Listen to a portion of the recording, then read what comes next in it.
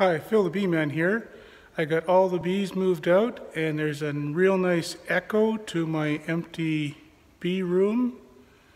And I have here most of, well, about half of my dead outs. I counted about uh, 60 in all on uh, 1,300 hives. That gives me about 4.5% loss or 95% survival. But what I wanted to show you today is uh, the start of my spring testing for mites, keeping on making sure I have another good year next year.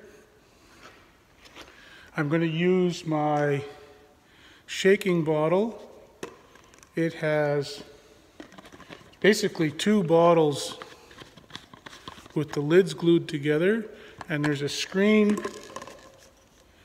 in between, those glued between those two lids. You can probably see how that's made.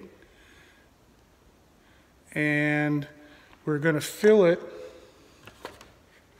with good old windshield washer fluid, which, at least in my part of the world, has quite a bit of methyl alcohol in it in order to uh, keep it from freezing in your vehicle and working at uh, sub-zero temperatures. This is rated to minus 40 Celsius, so its alcohol content will be quite high. Uh, as, and you can check if, uh, if your uh, availability would have that, you're looking for some sort of alcohol warning on the label telling you not to drink it, or if you, or I guess if you, if it says uh, go ahead and drink it, it's probably just as good. Uh, but that, that windshield wiper fluid works really well. The soapy water, soap in itself is an insecticide, and then uh, alcohol as well. So that's what we use as our testing fluid. And uh, so I'm going to go out and take some samples, and I'll show you how I do that. And then, uh, and included in that will be uh, the samples I'm going to take today are the, some of the hives that we did the HopGuard test on last fall, and I'm keen to see what kind of results we get on that. All right, so unfortunately this is a destructive test where some bees are going to have to die in order to uh, get accurate results. You want to take the sample right off the brood frame. These hives have now been out uh, just a few days and there's already capped brood. So that means that those hives were, were brooding up a bit inside. They could smell that warm air and they started spring a little bit early. Uh, and what I'm going to do is I'm going to take my sample bottle with the fluid inside and I'm going to drag it across those bees and they'll fall in and unfortunately drown in the, uh, or die uh, in the alcohol. And I want you know a good sample, but I don't want to fill that jar up. I want to actually take that off of several hives. And uh, this is the hives that had these cardboard um, HopGuard treatment we put in last fall.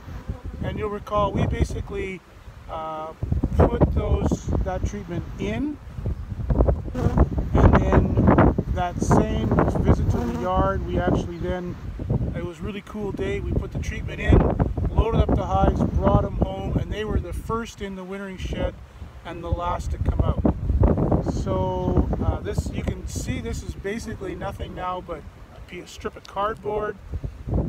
Still has just a the faintest smell of, of the uh, that HopGuard product uh, which was originally quite an oily, sticky mess. I figured since it was a, uh, a non-synthetic pesticide that it would uh, probably safe to leave it in for the winter. I'll do a count on the hives when I'm done and uh, then we'll have a, so there's two questions. One is, will it um, be a product that can be used in that way where you put it in and then it's in that hive for an extended period of time.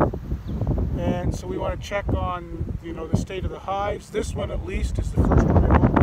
Looks real good. And then the next question is, did it control the mites? You'll recall that uh, the the uh, the yard that I applied that treatment to had low mite uh, low but not insignificant mite levels. Uh, the rest of my yards were clean. So we want to know now, um, and I left a couple hives as a control. Did it bring those that mite level down over winter? So is it safe for the bees? Is it effective on the mites? Those are the two things you need in a mite treatment. Okay, we got another replicate of this uh, Hopguards trial here. So we're just going to walk down the row and count the dead ones. Those are all good. Those are good. One dead one. Good. Good. Good. These here are a control with no strips in them. You got one on this pallet, one weak and one dead. Another control group with a dead one. This is control group with dead one. And here we have this treatment. One dead, another pallet treated, one dead. So when we add all that up, oh, and, and we took a sample here of the mites. And this is from, this is from the uh, treated hives. I see no mites. So I think that's good. And, uh, oh, wait, wait, wait, wait, wait. Maybe there's one. Yes, there, oh no, there's a couple. Uh-oh. Uh, one, two. I see two. Right in, trying to stay focused there. Right there is one. So, yeah, that little oval shape. Dead center of the screen right now is a mite. So, thanks, Dave. So on our numbers, where did I write those down?